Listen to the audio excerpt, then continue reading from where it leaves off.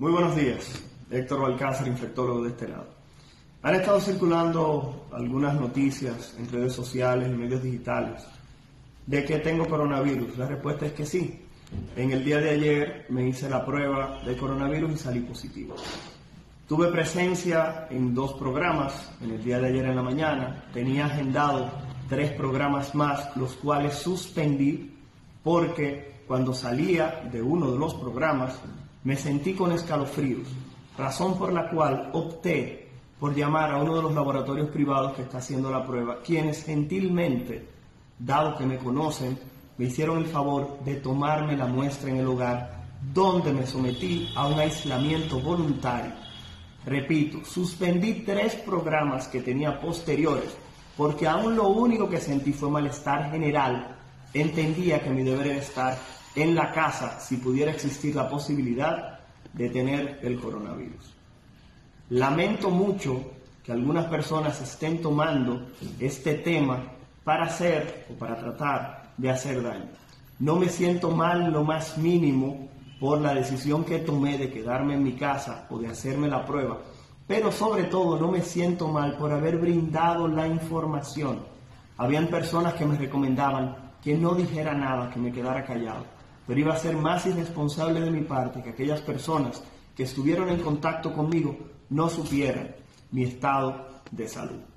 Por esta razón, simplemente quiero aclarar que no sabía que tenía coronavirus previo a estar en ninguna de esas entrevistas. Y número dos, que de manera voluntaria brindé información a aquellas personas a las cuales pude haber expuesto.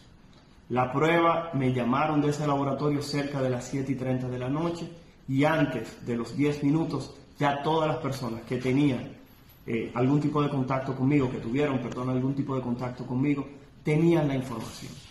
Asimismo lo he dicho a todas las personas que han tenido preocupación por mi estado de salud. Quiero también comentar algo. Esto es una situación que le puede ocurrir a cualquiera. Estamos viviendo en un país en el cual la enfermedad se está propagando. Desde el día uno que se comenzó a hablar de coronavirus, Héctor Balcácer ha salido a hablar de las maneras de prevención, pero también tengo que reconocer que soy médico y que trabajo en hospitales donde atiendo personas. E independientemente de que utilizo medidas de protección, los médicos siempre vamos a ser los más expuestos a este proceso.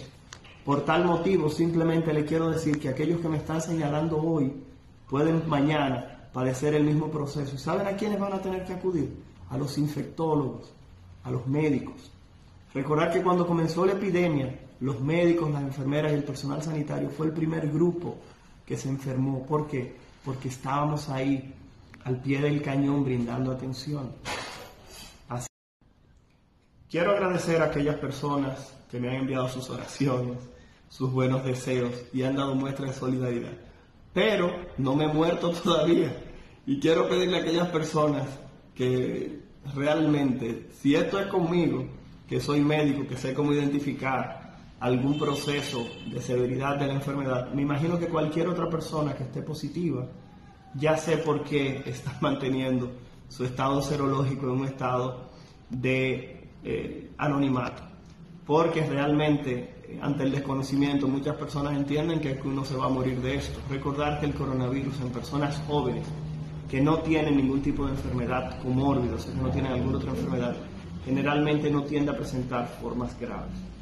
Quería decir que me encuentro en un aislamiento voluntario.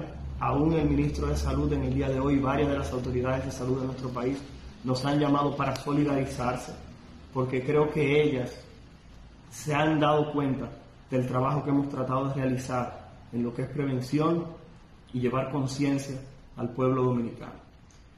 Quiero también agradecer a aquellos medios que en lugar de hacerse eco de las noticias que están surgiendo han preferido contactarme para preguntarme qué ocurrió. Creo que hubiera sido lo más ético, creo que hubiera sido lo más responsable en lugar de estar reproduciendo noticias que repito, no me molestan porque sé qué he hecho y qué no he hecho. Sé lo mucho que me he entregado.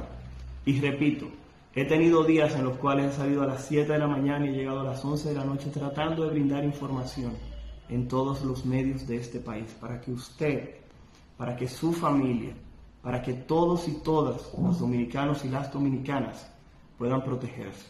Lamentablemente, no solamente he hecho comunicación, sino que también he brindado atención porque es mi deber y responsabilidad. Por esa razón me contagié. Si me hubiera quedado en un estudio o me hubiera quedado escribiendo frente a una computadora, quizás no me pasa.